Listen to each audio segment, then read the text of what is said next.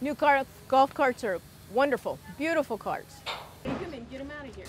We're going to have a full fleet. We'll be able to handle a full tournament of 144 golfers with no problem. Having a couple extra carts to be able to use on the course during the tournament. We've never had that before. Bottom line is we're going to improve our, our carts and improve our service and reduce our costs. These 40 carts coming in are the last 40 that we're buying. We'll have our whole fleet, all 80 cars upgraded where they're no more than one year old. And then we're taking all of our old work carts that were 2005s and worn out, turning those all in and upgrading the 2015 carts.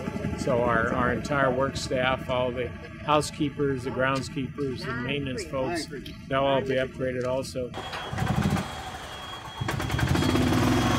I hope everybody realizes that the level of service of the Cocopah Bend RV Park is far and above any other RV park in the town, in our city. We really care about our residents and the facility, and we want everybody to enjoy this park to the maximum. Come here, relax, have fun, and have quality equipment, quality landscaping, quality staff.